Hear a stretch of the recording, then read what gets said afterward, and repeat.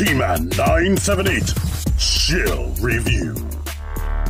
Hello everyone, T-Man 978. Right now we're going to be taking a look at Marvel Legends Series Cardback Edition. Marvel Studios Spider-Man No Way Home, Friendly Neighborhood Spider-Man. Where they came up with this name, I don't know. I don't know. You tell me. But yeah, here's this, here's this up close, yada yada yada. Let's get them out of there. All right, this is going to be an all-in-one review meaning little to no editing, unless something too cringy happens, and then I'll edit it. I, I don't want to make y'all suffer.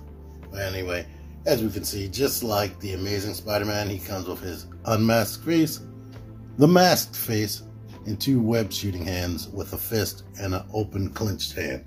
They don't give you another fist. They don't give you an open, like wall crawling or relaxed hand. You just got to live with what you got. And let's bring Peter Parker in so we can see this face right here. There is your Tobey Maguire face. Now, hmm, unlike the Andrew Garfield and Tom Holland, this one, it looks like him, especially from certain angles. Like this, definitely. All of them look good from this angle. But that Tom Holland face looked better on camera to me. The Android Andrew Garfield one looked good, period, no matter what, camera or off camera. But this one is the most off to me personally.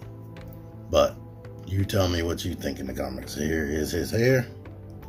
Here is the webbing on his body, which was always more silvery and raised. And you see the texture like all throughout the seats comic book movies, and this probably started the trend. I'm not sure. Well, uh, Blade, I, I don't know if I can compare Blade. Blade's always been a guy in leather. And the X Men, they used to wear spandex, but then they wore leather. But let me get back on subject. The comic book movie costumes always have more texture than in the comics where they were just spandex. Anywho, let me mention this problem again, and this is even more prime and perfect. This definitely could have had mid shin swivel, and they just didn't do it for whatever reason.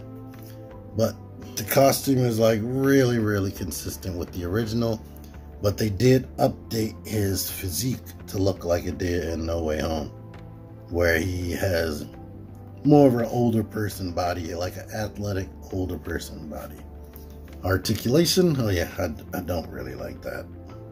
But articulation, the head can look up a lot, a ton. It can look down, not so much, but you get that and this, and it rotates. The arms go out to there, beyond 90. You do get butterfly right here, swivel right there.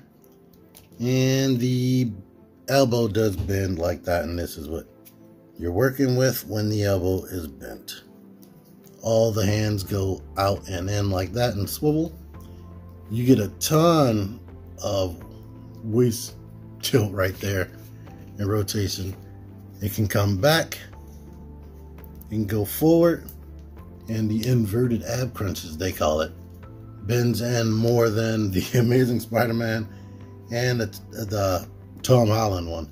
And the crazy thing about that, I said he's an older person physique, but he can crunch the best. And he goes back like that. Drop down hips. Kind of stiff. The legs go out to there. But they can kick up above 90.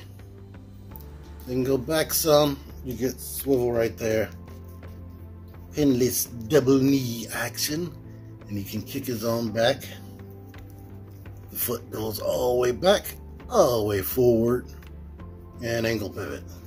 Here's the bottom of the feet, by the way, if you care. The head can come off. The masked face can come on. And this mask doesn't really go down that much, but it can look up a lot. Head tiltage and yeah, he is posable. Like I said, with the other two Spider-Men, Like he is great, but it would have been like even better if he had something like a web that he can act like he's shooting out. All the hands that I mentioned, maybe a secondary face with an expression. That would have been good. But um, yeah, definitely another wall crawling hand. So you could decide which way you want him to be posed in his Spider-Man pose. And let me pause right now. Like I said, stopping during cringy moments. I didn't want to force y'all to see me suffering trying to get that pose. but he, he's crazy posable, as you can see. He would be better if you could do mid shin swivel or swivel, as it's called. And if the head could actually, hmm, I don't know, that, that goes up, but I wish it would go up more. If they would go back to the hinge situation, I guess they wanted the, the necks to be like this so you don't see ugly sculpting like the hinges in the neck, but bring it back. I don't care. Look at that guy back there. I had him facing the wall, but now he's slowly, creepily turning around. And here we are with these three. And oh yeah, watch this footage again now that I noticed that guy turning around. I did not plan for that, and I didn't do it as I was not pausing and whatnot the whole time. So when he turned around, that happened during the review. But anyway, shortest, middle sized, tallest. I don't know. I'm guessing that might be accurate. Let's let's see to make sure. Yeah, friendly neighborhood is slightly, slightly taller. But I think it's cool that we could get three of these guys at the same time. I'm gonna guess. Now I know they were making these. I'm gonna guess this guy was in the works, but they wanted to release him in the outfit he was actually wearing in the movie first. So they used the existing figure. But it's cool that they gave us these three all at the same time with completely different bodies. That is awesome. And I know a ton of people probably have been wanting a modern version of this guy, which you have. Same thing for this, and everybody liked this suit at the end of the movie. So I think these are three great Spider-Man. And yeah, I don't know if you need me to compare it to anything else. Nothing else really is important to be honest. Besides, maybe this, but it didn't open it yet, so yeah, yeah. You'll see that later. Here they all are unmasked, and like I said, this is really cool. This is a cool moment to have. To be able to get these at retail with these faces and get the faces to look this good, even if I think they're mildly off on some characters. You let me know how you feel about the faces. I think this one is 100% the best. Like, I, somebody loves them. but anyway. I like all four, all three of these characters. Um, I just wish these had, I wish they had more accessories, being greedy. And, um, yeah, and the other things I was mentioning about Articules. But anyway, I got all three of these from Amazon. I will have a link to this one in the description, like I did for these guys. The link to them is in the description on their videos. Thank you for watching. Stay tuned for this and other videos. I have several G.I. Joe figures. Until next time, T-Man978 out of here. Figure action. That one's me.